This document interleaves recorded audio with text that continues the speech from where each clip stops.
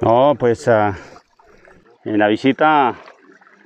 eh, se puede evidenciar efectivamente estos manantiales de, hidrocarburo porque uno observando la cámara es el puro aceite, la pura, digamos, el puro eh, hidrocarburo, pues que eso es lo que nos atañe y eso es lo que se quiere junto con todas las entidades de orden nacional que, que estamos hoy acá, pues se tomen medidas respectivas y urgentes porque la verdad esto es preocupante y si evidenciamos todas las, fincas aledañas, toda esta gente vive de la ganadería, su cajita menor de la situación de la leche y pues la verdad es muy triste y lamentable ver cómo se ven afectados seriamente por esta emanación de hidrocarburo y que pues eh, las autoridades nos hemos tardado porque ya llevan bastante tiempo en la cual pues nosotros desde la corporación recepcionamos una serie de, de inquietudes, de quejas permanentemente y pues lo único que nosotros eh, por competencia nos toca enviarlas a los organismos respectivos y es por ello que el día de hoy en la reunión pues esperamos sacar algunas conclusiones que sean eficientes, que sean efectivas para una toma de decisiones muy pronta. ¿Qué medidas deberían tomarse, doctor Guillermo, para eh, tratar este tema y solucionarlo definitivamente? Lo urgente en este caso pienso yo que es la situación de hacer los análisis, eh, hacer los estudios correspondientes para mirar eh, efectivamente qué tipo de hidrocarburo es, quién es el responsable o si es una situación natural, pero tiene que tomarse a corto tiempo, a corto plazo, una medida en el sentido de que en este caso la Agencia Nacional de Hidrocarburo, que es prácticamente la que fue creada para tal fin, para los estudios pertinentes, pienso que es la que tiene que darnos una respuesta de fondo. ¿Es prematuro hacer señalamientos hacia una empresa, hacia la empresa Nicoil Energy, frente a la responsabilidad por esos afloramientos?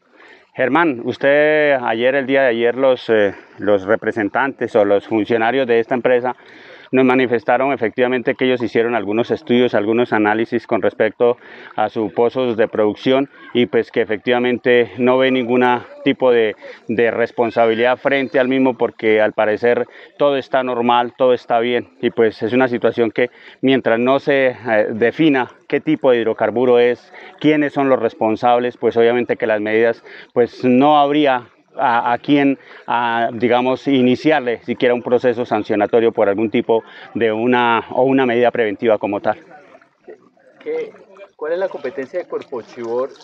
¿Y qué ha hecho en términos de ayudar a hacer eh, un diagnóstico de la situación?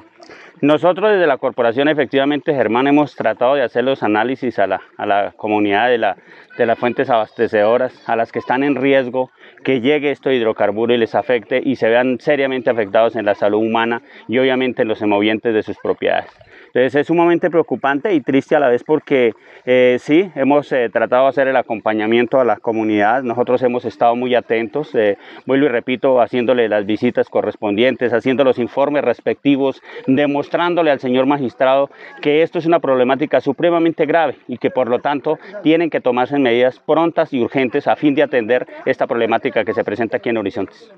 Corpo hizo un estudio sobre el tema de la biodiversidad y entendemos que con la CAR se van a hacer unos estudios adicionales. Sí, efectivamente la CAR nos va a colaborar gracias a la gestión que hizo nuestro director Pino Rolando Forero.